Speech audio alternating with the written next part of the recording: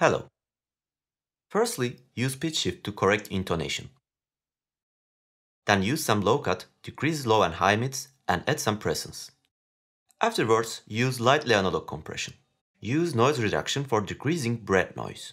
Finally, add some small and large reverb on it.